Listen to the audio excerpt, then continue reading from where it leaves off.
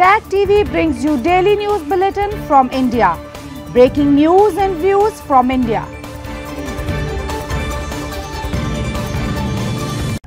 You're watching South Asian Newsline and other top stories we are tracking with you on Thursday, the 15th of August. PM Modi talks about Bangladesh Hindus, military prowess in Independence Day Taliban parades military might to mark three years in power in Afghanistan. And Nepal adopts transitional justice bill and post-civil war peace process.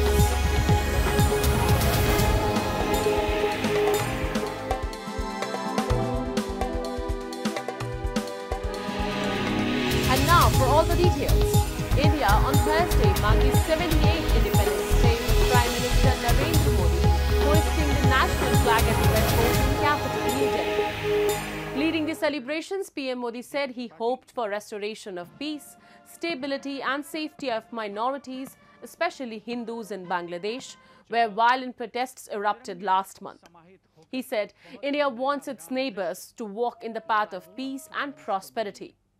In the days to come, we will continue to wish well for Bangladesh, its journey of development, as we care about the welfare of humankind. He added.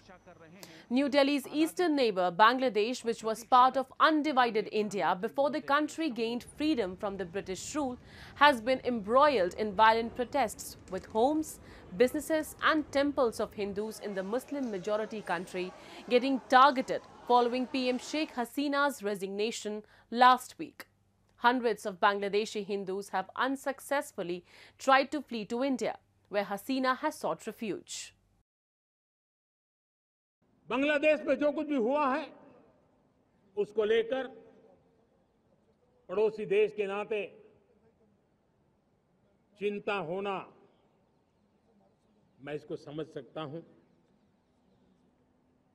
मैं आशा करता हूँ कि वहाँ पर हालात जल्द ही सामान्य होंगे।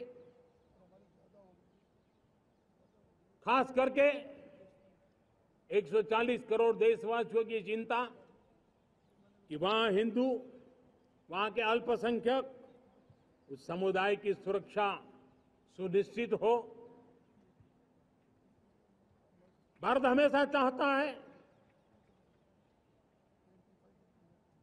कि हमारे पड़ोसी देश सुख और शांति के मार्ग पर चले।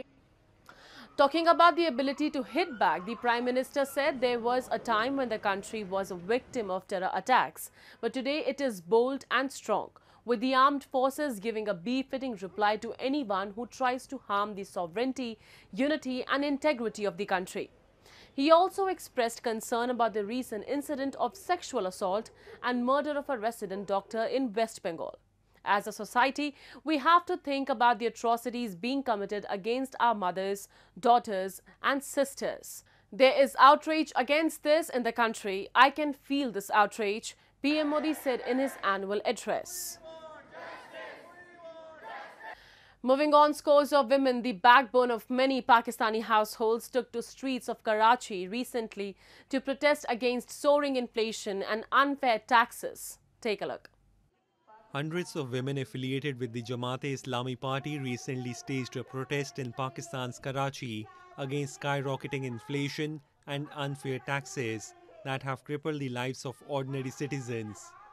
The protesters shared harrowing tales of economic hardship, claiming that the government's policies have pushed people to the brink. They also criticized the government for imposing heavy taxes on essential commodities and services exacerbating the financial difficulties faced by the public.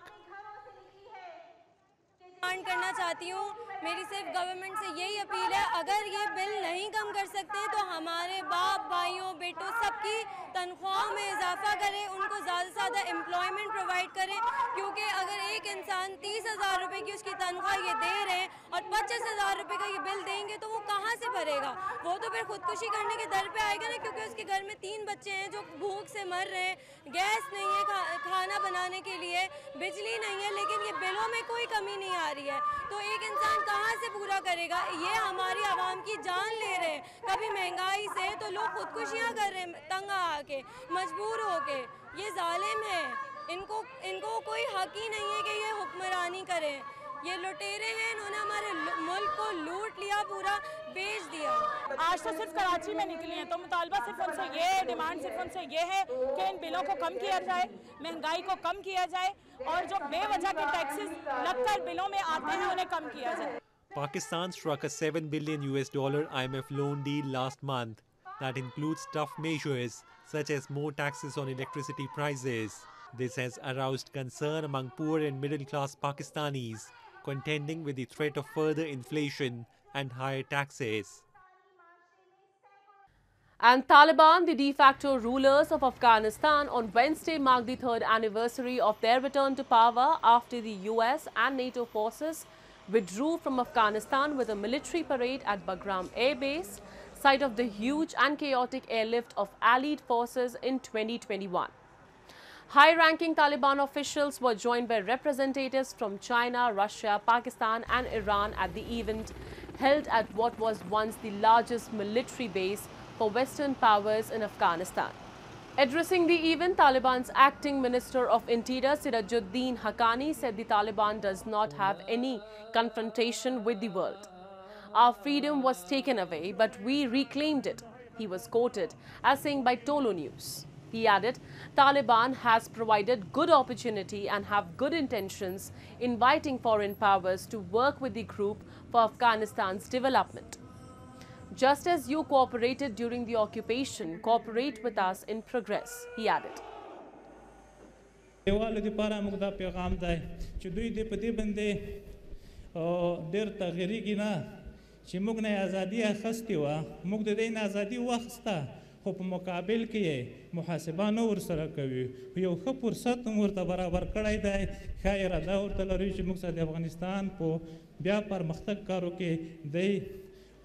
لکه څرنګه چې په اشغال کې همکاري کوله په پرمختګ کې هم همکاري وکړي And scores of protesters who were a part of the violent quota protests in Bangladesh on Thursday gathered on the streets of Dhaka and clashed with Sheikh Hasina's supporters to deter any rally by her supporters who were marking National Mourning Day, the country's former public holiday. Under Hasina's regime, the day was designated to mark the anniversary of the assassination of Hasina's father and president, Sheikh Mujibur Rahman, in 1975. The protesters, many of them students, wielded sticks and flags while crowding around and shouting at individuals wearing black whom they believed to be Hasina supporters. Around 300 people died in student-led demonstrations that began as protests against employment quotas but later spiraled into a movement seeking Hasina's overthrow. ব্যক্তিগতভাবে শ্রদ্ধা জানানো বা না জানানো, এখানে যেহেতু একটা অবস্থান চলছে, এখানে যেহেতু সবাই এখানে আছে, সুতরাং আপনারা এখান থেকে দেখতে পাচ্ছেন যে শ্রদ্ধা জানানোর মতো পরিবেশে এখানে নাই।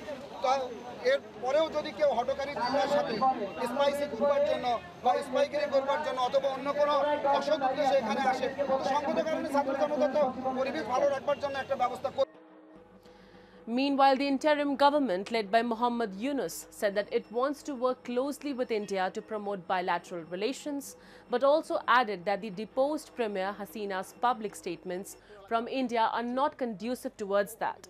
This comes as Hasina called for action against those who carried out violence under the garb of agitation. The interim government has assured India of its commitment to ensure peaceful coexistence of different communities in Bangladesh, including the minorities. Moving on, Nepal's House of Representatives adopted a landmark transitional justice bill that they would formally end a post-Civil War peace process nearly 18 years after an accord was signed. The amendment to the Act was necessitated after the Supreme Court in 2015 struck down provisions that allowed amnesty for serious violations of human rights, directing the government to make necessary revisions. Prime Minister KP Sharma Oli said a panel will be formed soon to deal with around 60,000 cases over alleged human rights violations, including torture, post disappearances, rape, and murder during the decade long conflict. Interestingly, the Maoists who had spearheaded the insurgency were on one side, while the monarchy, Nepali Congress and the CPN UML were on the other side of the conflict that reportedly resulted in more than 17,000 deaths. Now the bill will be forwarded to the upper house for approval. It will come into force after authentication from the president. Human rights groups and victim groups have expressed dissatisfaction over the provision of taking into account only 25% of the sentence terms with the rest waived off. And 39 candidates from Sri Lanka's presidential election submitted nominations on Thursday as the island nation prepares for a September 21 vote, key to charting its path out of a grueling financial crisis. The election will be Sri Lanka's first major poll since it defaulted on its foreign debt in 2022. Election Commission chairman accepted the nomination papers for the election in which about 17 million Sri Lankans are eligible to cast vote. Incumbent President Ranil Wickremesinghe, opposition leader Sajith Premadasa and Marxist-leaning lawmaker Anura Kumara Dissanayaka are seen as frontrunners. A surprise entrant to the fray is SLPP's Namal Rajapaksa, the eldest son of two-time President Mahinda Rajapaksa, which has a parliamentary majority. The winner will have to shore up the fragile economic recovery, implement a four-year $2.9 billion IMF bailout, finalize debt restructuring of $12.5 billion and focus on achieving sustainable growth. That's all in tonight's edition. We will see you same time tomorrow. Good night.